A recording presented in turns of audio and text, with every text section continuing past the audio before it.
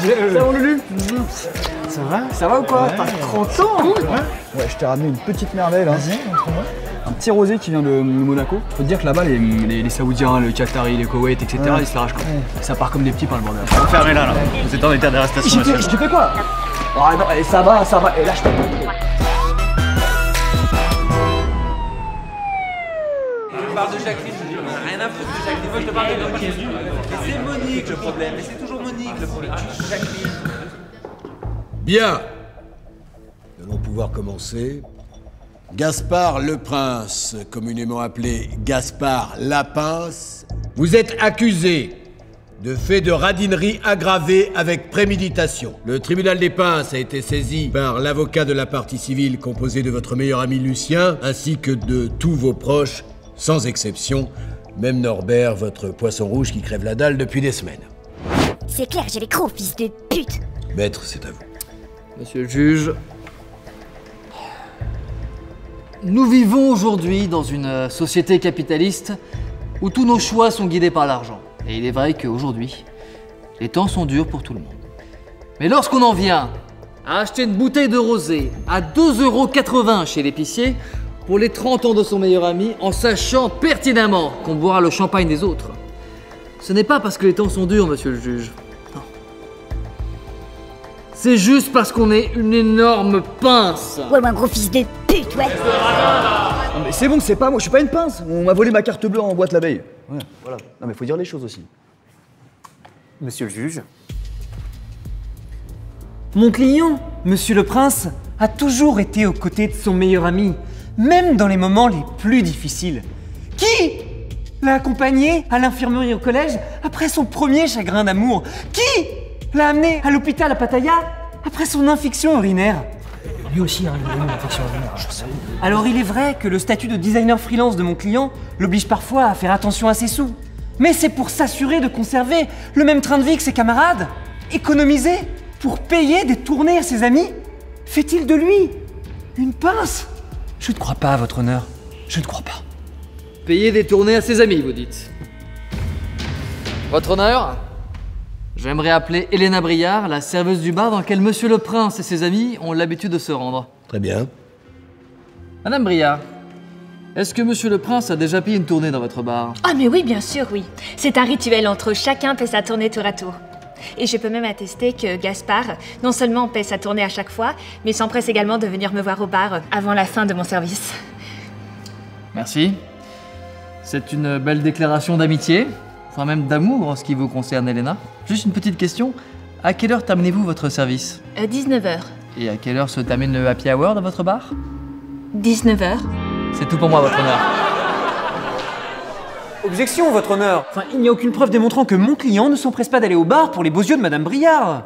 Objection retenue. Monsieur le Prince, est-ce que vous avez déjà payé une tournée ailleurs que dans ce bar? Ben oui.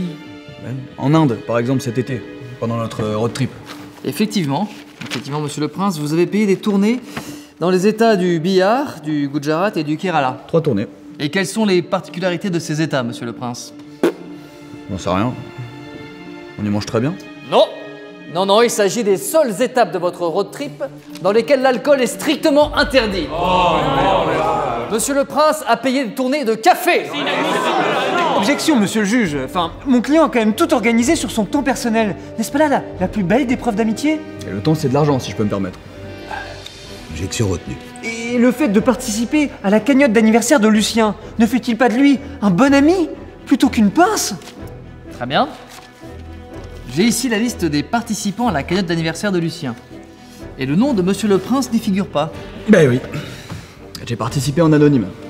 Histoire de pas gêner les personnes qui voudraient mettre un petit peu moins. Voilà, je suis comme ça. Je pense aux autres, c'est pas de ma faute. C'est très honorable de votre part, Monsieur le Prince. J'imagine donc que la participation anonyme qui a été faite le jour de l'anniversaire pour un montant de 50 euros provient de vous.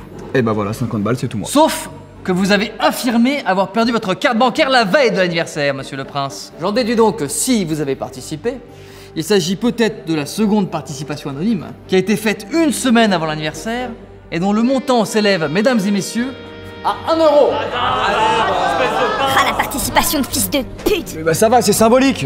C'est l'important, c'est de participer, non C'est Coubertin qui disait ça. Objection, votre honneur. Mon client a très bien pu retrouver sa carte le jour de l'anniversaire de Lucien, ça ne veut rien dire. Auquel cas, il aurait pu ramener une bouteille de champagne comme tout le monde. Le fait de faire un don de 1 euro sur une cagnotte et de ramener une bouteille de vin imbuvable au 30 ans de son meilleur ami ne fait-il pas finalement de Monsieur le Prince la plus grosse pince que vous ayez vue de toute votre carrière, Monsieur le juge? Silence Je n'ai pas besoin de me retirer pour délibérer. Mon verdict est sans appel. Monsieur le Prince, vous êtes la plus grosse pince que je n'ai jamais vue de toute ma carrière. Cher, cher, tu vas payer, fils de pute La Cour vous confisque pour une durée indéterminée votre boîte magique dans laquelle vous collectionnez les coupons de réduction de supermarché depuis 2002.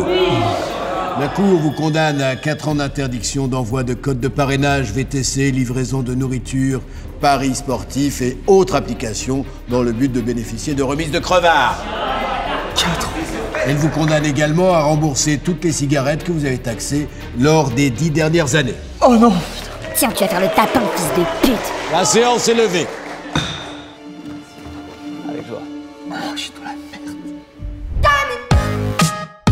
Christine, je te rappelle, je suis qu'un client, ok? Bien Norbert, euh, vous avez décidé d'attaquer votre propriétaire Monsieur Lapince, le prince, en justice. Expliquez-moi ça. Bah, ce fils de pute, il a fait une rechute. Il a chiné la voisine. C'est pas un crime ça Norbert. Elle a 65 ans. C'était pour pécho ses codes Netflix. Salopard. Hey, merci d'avoir regardé ce nouveau sketch. Rendez-vous la semaine prochaine pour une nouvelle vidéo. Tu peux voir la précédente en cliquant ici et tu peux t'abonner à l'Hollywood en cliquant là.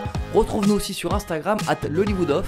Et d'ici là, gros bisous. Allez À la semaine prochaine